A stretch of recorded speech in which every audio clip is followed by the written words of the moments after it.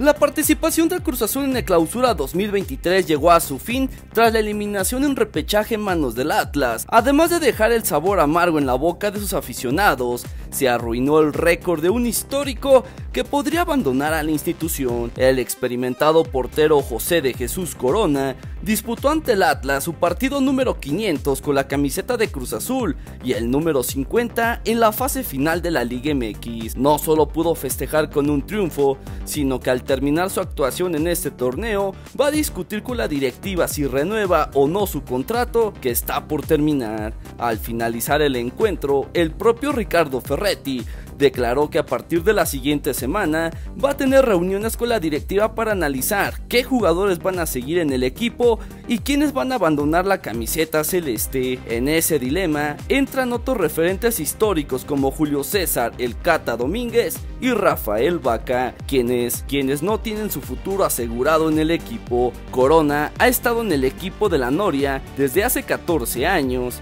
y ya se convirtió en uno de los máximos ídolos de la afición celeste.